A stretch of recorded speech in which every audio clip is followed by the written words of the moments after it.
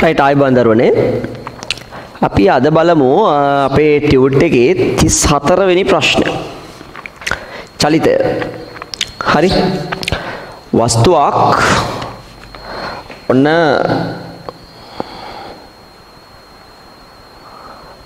සිරස්ව ඉහළට ප්‍රක්ෂේපණය කරනවා කියලා තමයි කියලා තියෙන්නේ ඔය විදියට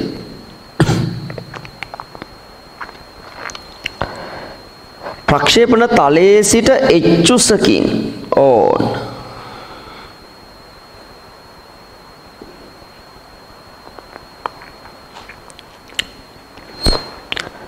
ප්‍රක්ෂේපණ තලයේ සිට එච්චුසකින් පවතින කාල T1 හා T2 නම්. කියන්නේ මෙතෙන්ටම එන්න ගතවන කාලය T1 ඔන්න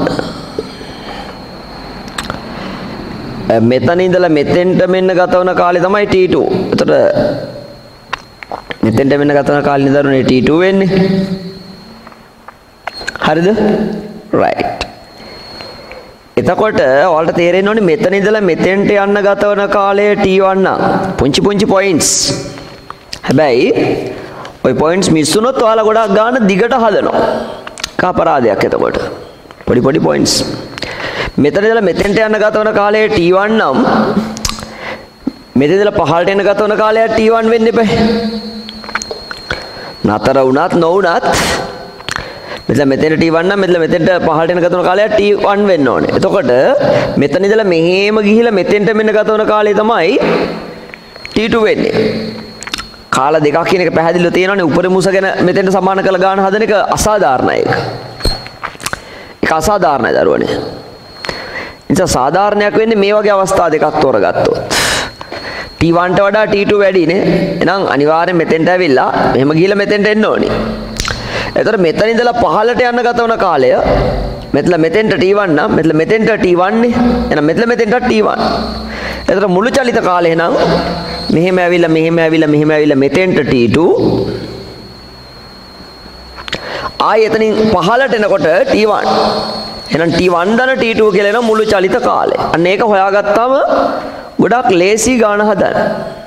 මුළු චලිත කාලය. T1 දන T2 මුළු චලිත කාලය එනවා දරුවනේ T1 දන T2. එතකොට හැමදාම කියන වගේ මම මේ ගානෙත් ෂොට් මෙතඩ් එක කියලා දෙන්නේ අන්තිමට. හරිද? right. මුළු චලිත කාලයේ T1 දන T2 නේ දැන්. දැන් අයහකන් තේරුන්නේ නැත්තම් වස්තුව මෙතන ඉඳලා මෙතෙන්ට එන ගතවන කාලයේ T1. මෙතන ඉඳලා මෙතෙන්ට ඇවිල්ලා මෙතෙන්ට ගිහලා මෙතෙන්ට වෙන ගතවන කාලේ T2. එහෙනම් මෙන්න T2. මෙතන මෙතෙන්ට පහළට වෙන ගතවන කාලේ T1 වෙන්නේ බෑ. මෙතෙන්ට යන T1 නම් මෙතෙන්ට එන T1 නේ ආයිත්. එහෙනම් T2 T1. එහෙනම් මුළු චලිත කාලේ T1 දර T2. දැන් අපි ඔය මුළු චලිත කාලය අරගමු. මේක A නම් B නම් C නම් D කියලා ABCD චලිතයට. දාන්නකො ඉහළට S සමාන UT දාන භාගය AT වර්ග. S වෙනුවට H U T වෙනුවට T1 දාන sorry S වෙනුවට බිඳුව. මුළු චලිත කාලෙට දැම්මේ. මෙතන තරණය වෙනකොට ඍණ G නේ උඩට දාන්න නිසා දරුවනේ. ඒ නිසා ධන ඍණ ඍණ වෙනවා භාගයයි. G T වෙනකොට ගන්න තියෙන T1 දාන T2 නේ. T1 දාන T2 මකන්න මේක.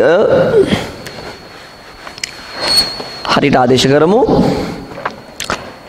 විස්ථාපනයේ බිඳුවයි u t වෙනුවට ගන්න වෙන්නේ එතකොට t1 දන t2 නේ මුළු චලිත කාලයනේ. Right.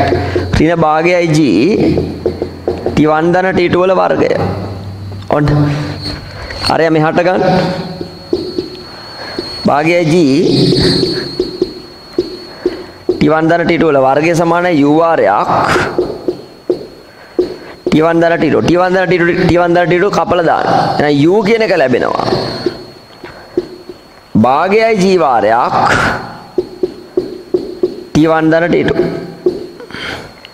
තව සුළු කරලා කියන්න ඕනි නම් භාගයයි GT1 දන භාගයයි GT2 දැන් දරුවනේ h උස හොයන්න තමයි ඊළඟට ඉතුරු වෙන්නේ. ඒ h උස හොයන්න වලට තියෙන්නේ මේක ඉහළට යලිත් දාන්න s සමානයි ut ධන භාගය at වර්ගයේ a සිට b දක්වා චලිතයට. a සිට b දක්වා චලිතයට තමයි දාන්න තියෙන්නේ s සමානයි ut ධන භාගයයි. A t වර්ග කියන ඒ සමීකරණය.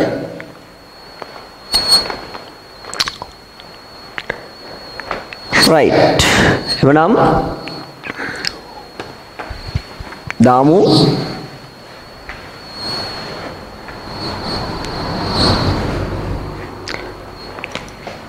A සිට B දක්වා චලිතයට.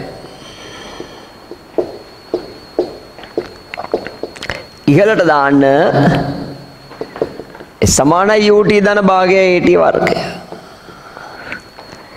S වෙනුවට නම් H U වෙනුවට හොයාගත්තු වගේ දාන්නකො කෙලින්ම U වෙනුවට භාගයයි GT 1 ධන භාගයයි GT 2 T වෙනුවට එතකොට? T1 ඍණ භාගයයි GT1 වල වර්ගය.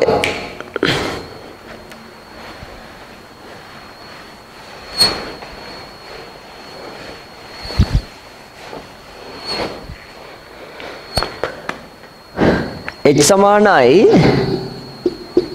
භාගය GT1 එළිය තියෙන T1 ගෙන් ගුණ කරාම T1 වර්ග ධන භාගයයි GT2 එළිය තියෙනවා තව T1 එකක්.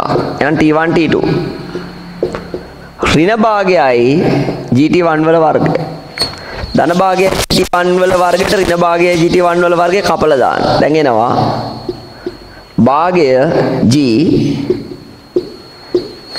T1 T2 භාගයයි G වාරයක් T1 T2 එච්චරයි.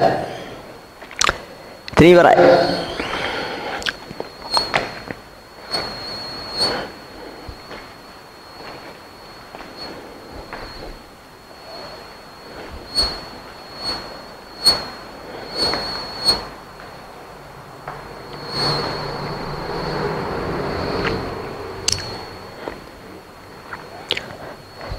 ඉවරයි. එතකොට දැන් කියලා දෙන්න හදන්නේ දරුවනේ. ඔය ගානම අපි බලමු සමීකරණ දෙකක් ගන්නෙ නැතුව. එකපාරම හදන්න. හැබැයි ගාන හදද්දී මම මීට බොහෝ කාලයකට පෙර පන්තිදි කියලා දීපු වැදගත් සිද්ධාන්තයක් නම් ඕනි වෙනවා. මොකද්ද සිද්ධාන්තය? ax වර්ග ධන bx ධන c වගේ වර්ගජ ප්‍රකාශනයක මේ x සඳහා ලැබෙන උත්තර දෙක x1 හා x2 නේ. එතකොට ඔය x1 x2 ගුණිතය එනවා c බෙදීම a ගෙන්. අගපදයේ බෙදීම මුල් පදය c බෙදීම a ගෙන් එනවා කියලා මීට කලින් දවසක් කියලා දීලා තියෙනවා. x සමානයි ඒක දන්නෝනේ සූත්‍රේ. එතකොට එන උත්තර දෙක x1 හා x2 නම් ඒක සමානයි c බෙදීම a කියලා උගන්වලා තියෙනවා. right. ඒ දෙක එකතුව සමානයි ඍණ b බෙදීම a කියලාත් ඉගෙනගෙන තියෙනවා. ඍණ b බෙදීම a. right. එහෙනම් දරුවනේ දැන්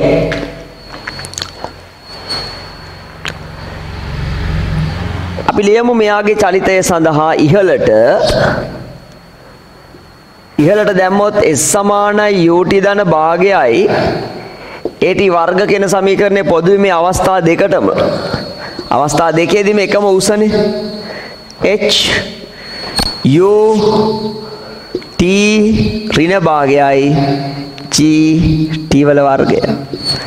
එතකොට දරුවනේ ඍණ භාගයයි GT වර්ග මෙහෙට ගන්න ධන භාගයයි GT වර්ග ඍණ ut ධන h සමානයි බිඳුවයි. දැන් එකපාර මේක ලියන්න පුළුවන් ax වර්ග ධන bx ධන c සමානයි බිඳුවයි. ඒ වගේම මෙතන එහෙනම් t සඳහා උත්තර දෙකක් තියෙනවා. එකක් t1 කාලය අනිත් එක t2 කාලය. x සඳහා උත්තර දෙකයි තියෙන්නේ. මේක x කියන්නේ කාලයනේ දරුවනේ. කාලය සඳහා එන අගයන් දෙක ඕකේ ගානේ පැහැදිලිව කියලා තියෙන මොකක් කියලාද? T1 වන විට T2 වන විට එකම එච්චුස පෙන්නනවලු. එහෙනම් කාලය සඳහා x කාලය සඳහා T1 T2 ඕක සමාන වෙන්න ඕනේ. දැන් c බෙදීමේට c කියන්නේ h a කියන්නේ භාගයයි g. එනිසා උත්තර එක පාර කියන්න පුළුවන් h සමානයි භාගයයි g වාරයක් T1 T2 ගුණිතය තොර ඒ සඳහා ඔයාලා මුලදිම අපි අර ගණිතමය සංකල්ප ටිකක් උගන්වනවා දරුවනේ. ඒ ගණිතමය සංකල්ප වර්ගජ ප්‍රකාශන උගන්වද්දී මුලම පටන් ගනිද්දී අපි මේ දේවල් ඔක්කොම ෆිල් කරලා හදලා ගන්න ඔයාලා. අන්න එතනදී කියලා දෙනවා සමානයි u දෙන භාගය at වර්ග sorry x වර්ග ධන භාගයයි x වර්ග ධන bx ධන c සමානයි බිඳුව වෙන වර්ගජ ප්‍රකාශන සමීකරණයක මෙන්න මේ x සඳහා ලැබෙන උත්තර x1 x2 නම් x1 x2 නම් අන්න x1 x2 වල ගුණිතය සමානයි c බෙදීම a. ඔන්නෝක ක්ලික් වුණ දරුවට සූත්‍රය මෙහෙම ලියලා ටක් ගාලා කියන්න පුළුවන් එහෙනම්. T1 T2 ගුණිතය සමානයි එච්චට භාගයයි G එහෙනම් H සමානයි. භාගය වාරයක් G වාරයක් T1 T2 ගුණිතය. එකපාරින් එහෙම ගන්න පුළුවනි. Right? එමනදර තවත් අපි තවත් ප්‍රශ්න ඉස්සරහට සාකච්ඡා කරනවා. එමනම් තවත් ප්‍රශ්නකින් හමු වෙමු. මේක අපි කෙටියෙන් ගන්න එක ක්‍රමයක් එක්ක පොඩි පහසුවක් තියෙන ප්‍රශ්නෙත් සම්පූර්ණයෙන් සාකච්ඡා කරලා තවත් ක්‍රමයකුත් ඉදිරිපත් කිරීම තමයි මේකේ මූලික අරමුණ උනේ. එමනම් අපි තවත් ගන්නකින් ඊළඟ වීඩියෝ එකදී හමු වෙමු දරුවනේ. Right? Bye bye.